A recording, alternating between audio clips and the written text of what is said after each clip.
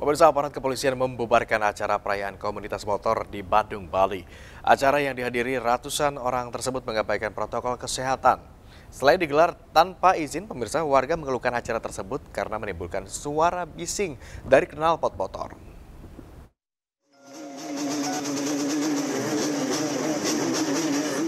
Suara bising dari ratusan knalpot motor dua tak ini mengganggu warga desa Sedang, Abir, Sebal, Badung. Tanpa menghiraukan warga sekitar, mereka terus menggeber gas motornya. Sekitar 500 anggota komunitas motor dua tak dari tiga klub besar di Bali ini memang sedang menggelar acara merayakan 4 tahun komunitas di salah satu objek wisata alam. Membludaknya peserta acara ini membuat aturan protokol kesehatan pun dilanggar. Selain muncul kerumunan, banyak peserta acara tidak memakai masker. Penyelenggara acara pun diperiksa polisi.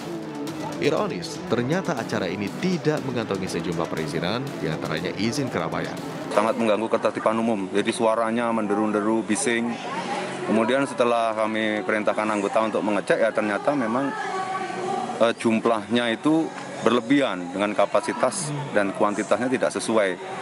Kemudian eh, para pengunjungnya juga tidak menggunakan masker, artinya prokes tidak terpenuhi di sana, sehingga kami sebenarnya tidak uh, kasar membubarkan, kami hanya persuasif mengimbau agar segera membubarkan diri.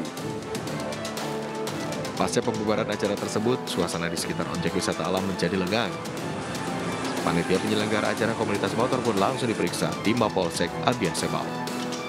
Dari Bandung, Bali, Bagus Alif, Anyus Blok berkah.